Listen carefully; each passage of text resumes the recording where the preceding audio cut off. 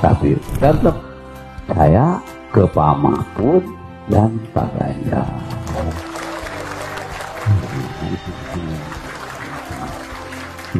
Jadi enggak enggak punya punya biaya apa apa. Saya menjalankan Pak Mahfud kawan saya waktu di PKB. Mohon ini mangga kita laksanakan Mahfud Ganjar. Tetap nah betul ulama mangga mangga tetap bebas. Nah mangga. Mahfud Ganjar ya begitu tidak panjang tema Al-Fatihah.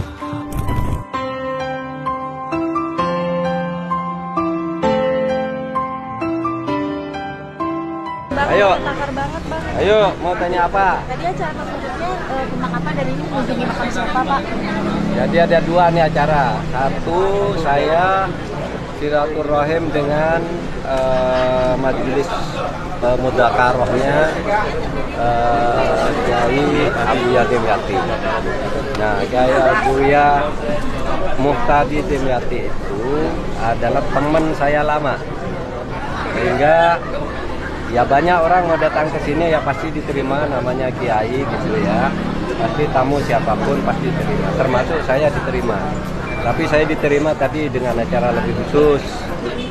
Sambil dua lalu hadir ke hadir ke majelis mudatarohnya lalu diminta ceramah dan sebagainya. Itu dulu sudah sering saya lakukan ke sini bersama Buya Mutali ya, jadi ini bukan untuk yang pertama. Kemudian tadi saya pamitan dan mohon doa restu karena saya menjadi cawapres. Silakan saya bilang anu supaya rakyat dan umat dibimbing untuk memilih calon yang terbaik. Semua sudah ada di meja untuk dipilih silakan yang terbaik menurut syar'i. Nah itu tadi kalau dengan Abu Yamu tadi dan cukup lama tadi hampir dua jam. Nah lalu yang ke sini Tentu saya ingin menambah energi batiniah, energi rohani. Kunjungan ke arwah-arwah para ulama besar itu biasanya memberi kita kenyamanan dan kemantapan itu tradisi Nahdlatul Ulama. Jadi setiap saya datang ke pesantren kan pasti mampir ke kuburannya. Ya maksudnya yang mengenang perjuangan beliau-beliau yang sangat tulus dan ikhlas kemudian memberi energi kepada langkah-langkah perjuangan saya sendiri.